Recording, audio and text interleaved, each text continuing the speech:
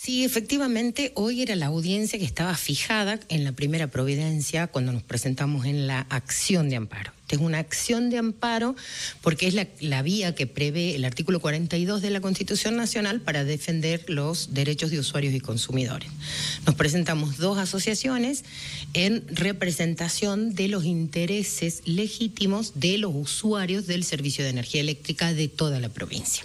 Habíamos pedido una medida cautelar, el juzgado todavía no resolvió sobre la medida cautelar, es una medida a la que obviamente Fiscalía de Estado se opuso, sin embargo, como una em, precautelar y por decisión del tribunal, se dispuso que se prohíban los cortes del servicio ante la falta de pago de las facturas que tengan el periodo de medición comprendido entre el primero de mayo y el 31 de julio, que son las facturas que estaban llegando con aumento. Esta audiencia tenía por objeto que nosotros contestáramos los hechos nuevos que se plantearan a partir de la contestación de Fiscalía. Pero en realidad lo que pasa es que como se presenta a la empresa EGESA para formar parte del expediente.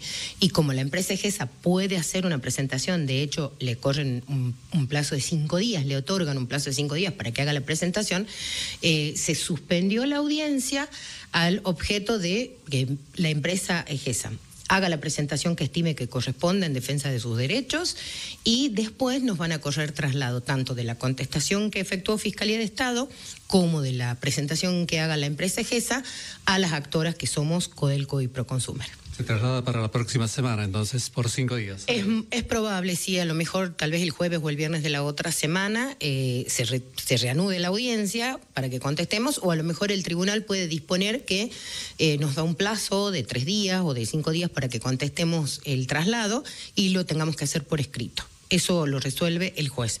Lo importante es que la medida se mantiene, la medida que dispuso el tribunal.